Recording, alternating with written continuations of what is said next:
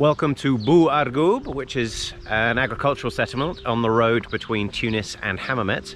And behind me, you see Villa Zodiac, or as it's more commonly known, Mussolini's Palace. Let's walk around and see what we can find.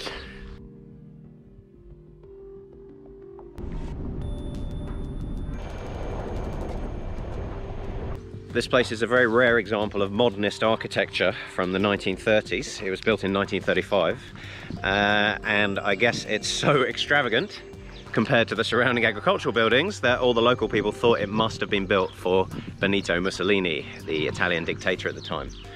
Uh, but it wasn't, so that's an urban legend. So even though it's called Mussolini, even though people call it Mussolini's villa, no evidence it was actually built for Mussolini. It was actually built for the Garsia family, who I assume were very wealthy Italian colonialists. And it was built by Ugo Chiarini, or designed by Ugo Chiarini, who is a, an Italian architect. Uh, the reason it's called Zodiac Villa is because there's actually Zodiac mosaics inside, so I'm hoping we can actually wander in and take a look around. So it looks as though the whole place is actually being lived in right now, so there's a number of different families have closed off sections of it. Um, someone has kindly let me come in, so I'm gonna come in and see which section this guy has managed to get hold of. And I'm hoping we can see some of the interior decorations, let's see. So here's one of the zodiac symbols in this, this man's kitchen. So that's the reason why this place is named that, because of the incredible mosaics. Look at this. And I guess these are dotted all through, but it's actually been kind of subdivided. So we can see he's got this small section and then the rest must be elsewhere. Wow.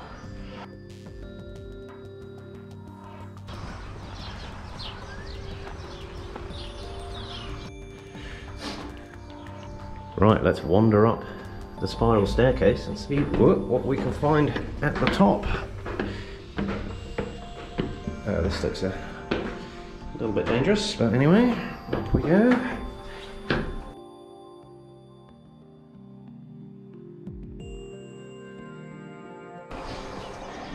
Don't think that's part of the original artwork.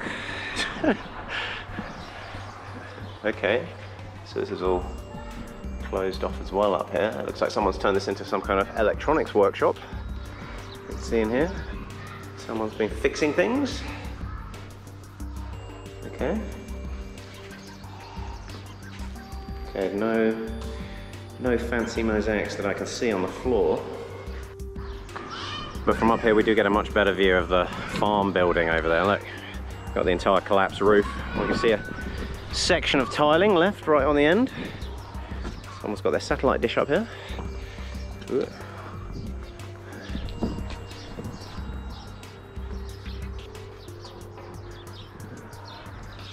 Some sort of obelisk there. What have we got down there? That's where we started with the seating. Let's go and explore. Right, we're going to try going up another floor. We're now on the roof. And we can look down into the villa. See a lot of graffiti.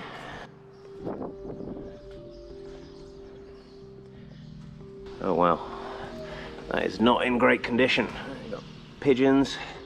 Looks like at one stage someone's keeping livestock in there because it smells quite strongly of cattle. Wow. What incredible architecture though. And I don't know how well you can see this, but we can see the other zodiac symbols down on the ground. So look, there is a crab. We've got Cancer there, we've got Pisces over there, all the way over there. I'm not sure if you can see, I, I don't know what that is. That's the end of some kind of sea creature or a snake or something. So I guess the zodiac symbols went all the way around the outside of the second floor and then looking all the way down to the ground floor. If you look down there, look, there's there's a bird, there's something else covered in cattle dung. So following independence, uh, in the 1960s, this was actually a women's college. It would appear that it fell into disrepair after the revolution in 2011. So since then, we've had squatters move in, um, one of whom is very kindly showing me around. But it really could do with some sort of heritage organization coming in here and doing some repairs because it's not looking great. This place is in quite a sad state of repair, as you can see as we look down. I mean, roof's all overgrown and then lots of graffiti and damage to the main building in there. Green tiling there, car's still there, excellent. I guess in a sense it's good that there are families living in here now because they must stop people coming in here and graffitiing and damaging the place, but oh look, Taurus. Don't know what that one is. Uh, there's a staircase leading all the way up. And there's where we came in. And there's the motorway. Right, let's go down the staircase, trying our hardest not to slip and fall through this dodgy gap. Don't really understand the setup here. Where, where exactly do you actually get into the villa? It doesn't seem to be in here. Some kind of mangy form of toilet. Maybe through here? I don't know. Nope. I'm, how am I getting lost already? We've already been in here. Okay. So not through here. So if we continue down, perhaps? Oh. Oh. Oh, we're coming into someone's living room, so I'm going to turn the camera off now.